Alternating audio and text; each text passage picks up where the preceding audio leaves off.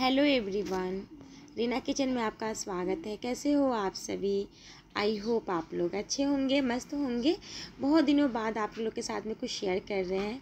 Share तो हमने कुछ ऐसे किए थे आप लोग के साथ में, लेकिन रेसिपी हमने शेयर नहीं की थी, क्योंकि हम कुछ दिनों से घर में नहीं थे और हम गए थे इंगेजमेंट सेरेमनी में। तो इसलिए जो भी हमारे पास खुद की फ़ोटोज़ थी, वो हम आप लोग के साथ में शेयर किए थे। जो हमारे पास थोड़ा थोड़ा था, वो हमने आपके शेयर में किया था आपके साथ में।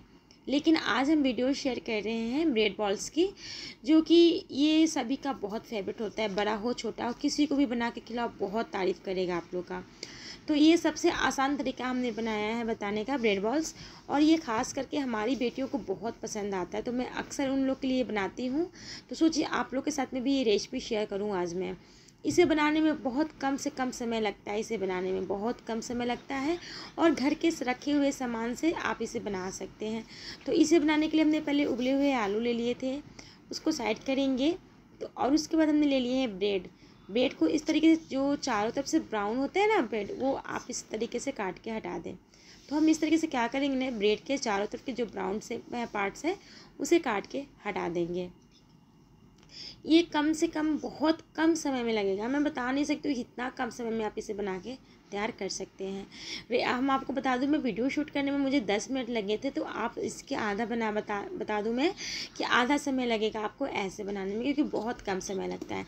तो हम क्या करेंगे ना, इस ब्रेड को चार तरफ़ से हमने कट कर लिया है, ये देख सकते हैं। इसे हम फेंकेंगे नहीं, इसे यूज़ कर सकते हैं, इसे ब्रेड कम्स बना के तो इसे हम रख देंगे साइड में। अब हम ले लेंगे प्याज और प्याज को कट करेंगे। आप इसमें जो सब्ज़ियाँ पसंद करते हैं वो डाल सकते हैं। लेकिन हम अपनी बेटियों के लिए बना रहे तो बहुत कम मसाले से, कम मिर्च मसाले से और बहुत कम सब्जियों से बना रहे हैं। तो इसमें हम पहले बारीक चॉप करेंगे प्याज, क्योंकि इसमें प्याज बहुत अच्छा फ्लेवर आता है इसमें। तो इस तरीके से प्याज को क्या करेंगे, हम बारीक चॉप करेंगे। उसके बाद इसमें हमने दो हरी मिर्च लिए थे और इसे भी बारीक चॉप करेंगे। इसमें आप चाहें तो अपने मनपसंद तीखा कम ज़्यादा कर सकते हैं। उसके बाद धनिया पत्ता ले लेंगे और इस तरीके से बारीक चॉप कर देंगे हम धनिया पत्ता भी। तो ये देखिए, उसके बाद हमने टमाटर ले रखा है। टमाटर को भी इस तरीके से बारीक चॉप करेंगे। इस तरीके से। एकदम बारीक हम चॉप कर देंगे सारी सब्ज़ियाँ को। तो देख सकते हैं, बहुत कम हमने इसमें यूज़ किए हैं। प्याज, दो हरी मिर्च, धनिया पत्ता और टमाटर।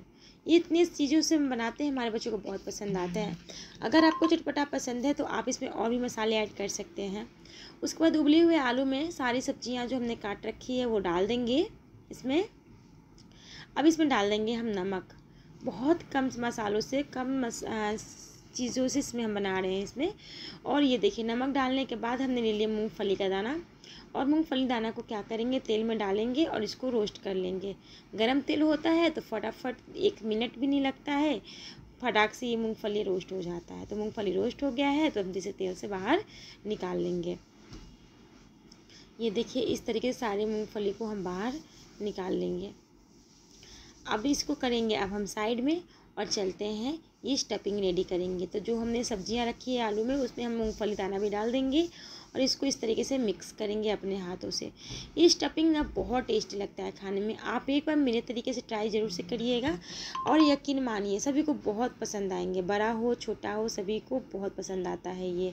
और सबसे आसान मुझे ये रेसिपी लगता है बनाना। अगर कभी भी कम समय होता है कोई अचानक से हमारे यहाँ गेस्ट आ जाते हैं तो हम उन्हें ये ज़रूर से बना खिलाते हैं। उन्हें बहुत बहुत पसंद आता है। तो इस तरीके से स्टफिंग रेडी हो गई है। तो आप क्या करेंगे ना ब्रेड्स लेंगे और ब्रेड को ठंडा पानी नॉर्मल पानी, जैसा भी पानी हो रूम कोई सा भी पानी ले ले और उसको ब्रेड में भिंगो दे। ब्रेड को पानी में भिंगोए और उसको अच्छे तरीके से दोनों हाथों की हेल्प से पानी को निचोड़ दें। उसके बाद इसे बीच में स्टफिंग भरेंगे और इस तरीके चारों तरफ़ से सील कर देंगे। और ये देखिए, बहुत ही आसान तरीके से हमारा ब्रेड बॉल्स बन के तैयार हो जाता है।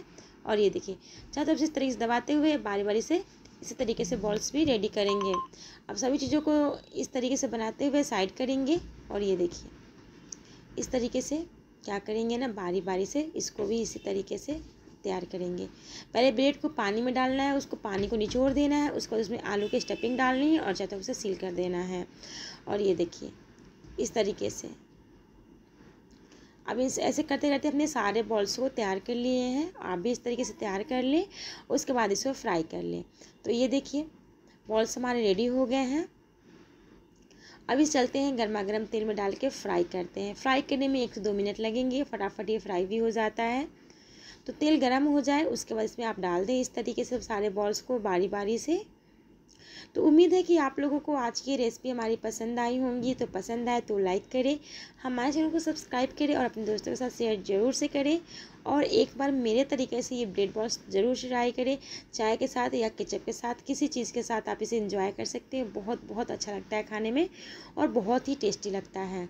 आप इसे अपने बच्चों के लंच बॉक्स में भी दे सकते हैं, उन्हें बहुत पसंद आएगा।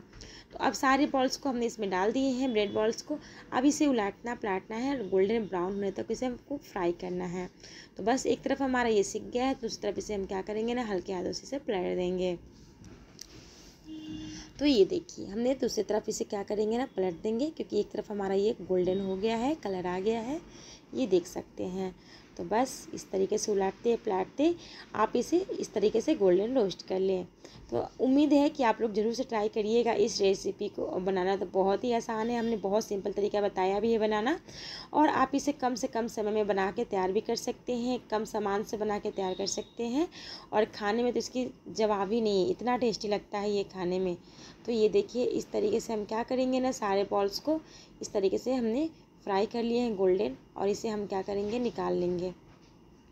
इस तरीके से सारे तेल से बाहर को बॉल्स को निकालेंगे और आप इसे केचप के या हरी चटनी या चाय किसी के साथ इंजॉय कर सकते हैं। और ये देखिए हमारा ब्रेड बॉल्स तैयार है। हरी चटनी भी हमने रखी है और साथ में केचप भी रखे हैं।